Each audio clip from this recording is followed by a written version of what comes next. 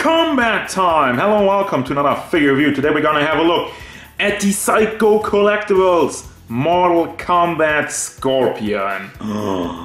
yeah, this is a this is a classic I dug out because I'm super hyped for the new Mortal Kombat. I saw the trailer and uh, I'm really I'm really in the groove. By the way, I'm still waiting on Goro from Storm Collectibles. He's out basically everywhere except for Ami Ami, and I got him pre-ordered on Ami Ami, so I'm still waiting for Ami to get him. So really just sorry about the delay on that one, but uh, they, they're really not getting those in. So getting off of the Storm collectibles and back to the Syco collectibles, why I dug this out is also because there's a little bit of a history behind this. But before we go into the history, I mean, I'll, I'll keep that probably for the end. When I have a look at size, he stands at about 20 centimeters really to the top of his sword, like a little bit over it when we're going up to the elbow and my ruler is too small and I don't have the big ruler in the in the new place right now. Haha. Yeah I, need to get on that. But uh, basically yeah 20 centimeters 10 inches for the figure itself and then you also got a base which uh, also has some decent size to it. And uh, you cannot put him down because he has them screws and stuff in the feet. But here's the base. You got a nice Mortal Kombat logo and it's all like rippled up. You got like fissures and stuff that's breaking apart and it looks very nice. It looks like real concrete and has like the dark going around. Uh, the, the molding is fantastic on this one and also the paint job really makes it come to life, makes it look like a real piece of concrete if you're asking me. And then at the bottom, let's see, got the Syco Collectibles and uh, the number, which brings me to another one, 250. I don't know if this one is a special edition or the regular edition. They made an edition where Scorpion has an alternate hat. Now, how, how, how do I do not know if it's the special one or the, the regular one? Well, because my, my dad threw the box away.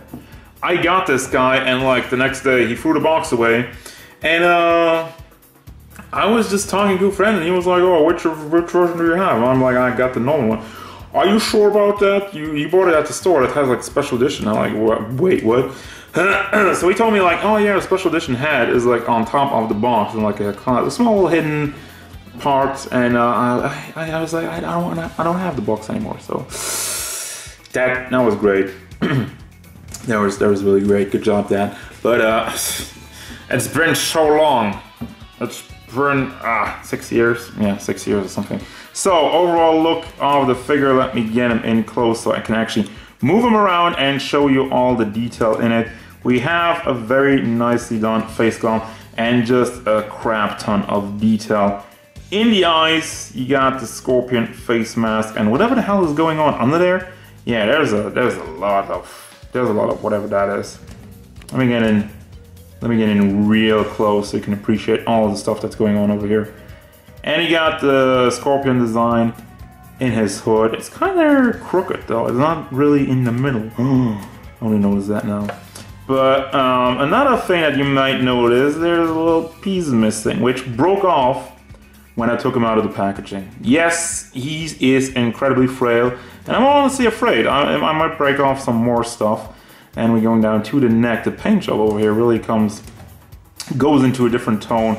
We got the nice metallic blue and it really has a worn look, a little bit of a battle damage look, but it all looks like armor. And I don't know, he was pretty armory in the uh, Mortal Kombat 9 design. I'm not sure that's alright. Then I might be exaggerating a little bit, but it does look cool. That's always like a thing for figures. Uh, you might say it's not accurate, but on the flip side, it looks cool as a figure. So then we got the Scorpion, kind of like the, the two tails in here with some gold in the armor. And uh, yeah, everything's armor. Going down, going to the back actually, to the swords.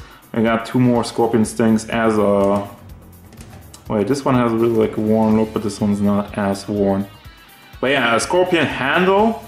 And uh, you may notice that they waggle a little bit around because you could remove them. And I glued them on because it kept falling off. Another problem, quality control.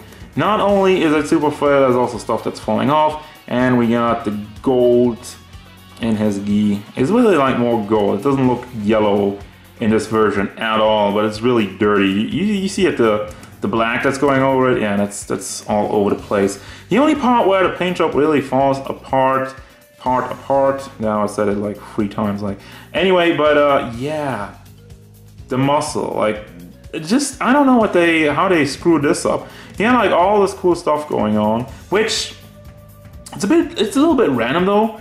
Uh, it's a little bit busy in the color department. You, you can give them that, but I again I still think it's cool. Still think it looks good overall. Uh, it, makes it really vibrant and interesting.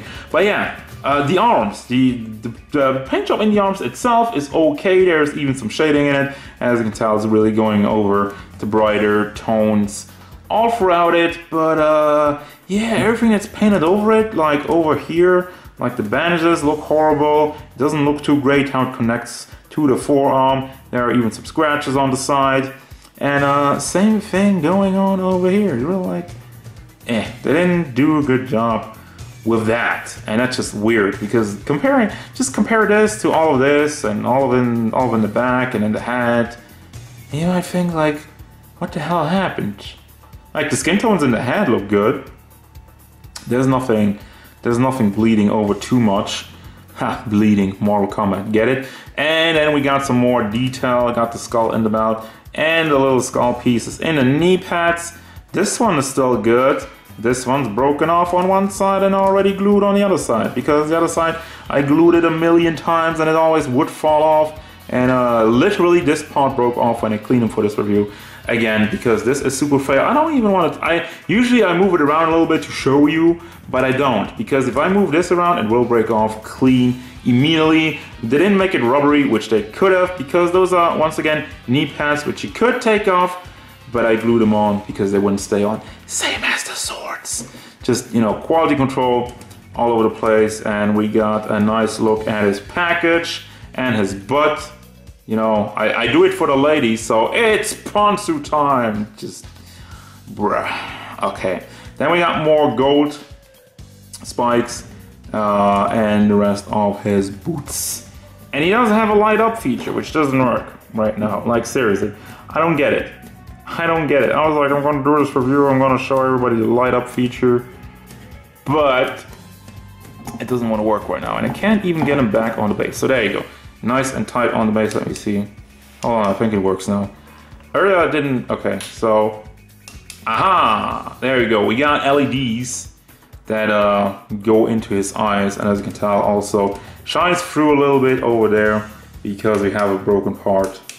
And that's really cool.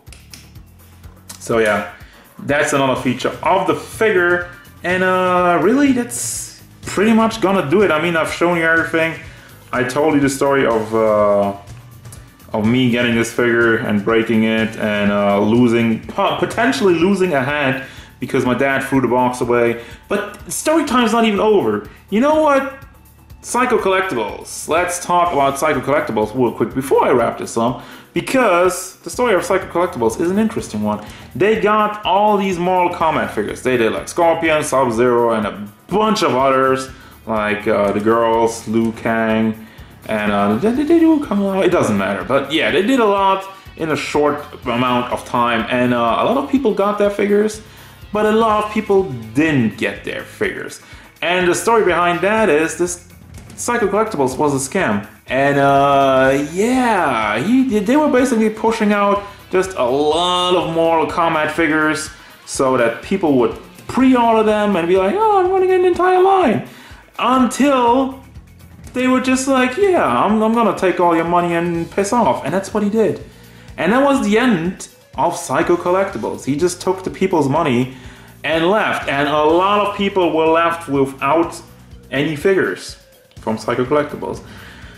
So yeah, I, am lucky I got mine, but I really, I really bought them when they came out. A little bit of bittersweet note, and it's really sad because overall, and it's gonna bring me to the final thoughts. Wow, what a transition! but uh, yeah, overall, this figure looks great. He, uh, the very also, for the record, I like cool poses. Don't give me always the same poses of some guy just standing there being like, I'm the strongest or whatever. This figure clocked in at around 150 bucks when I got him, so that was worth every penny of it. But right now, if you want to find them, if you want to track them down, they, they've become kind of rare because of scam stuff, and I don't even know how many they actually shipped out. But uh, that all being said, if you can still find this guy at 150 bucks, totally worth it. Uh, a little bit over it, might still be worth it, and this is horrible. Wow, my voice is leaving me. so, overall, figure's great. Paint job's kind of random, but it looks cool, and uh, he's extremely fragile and has some QC issues. But for the original price, it's totally worth it, and uh, maybe if you want to go over it a little bit, it might still be worth it to you but we all we all have different ideas of value and I need to stop now because I'm gonna lose my voice completely. That's gonna do it guys. As usual, thank you guys very much for watching. Don't forget if you enjoyed this review, hit it up with a like and subscribe to the channel so you can stay tuned for more figure reviews, gameplay stuff, and whatever Scorpion wants. Get over here!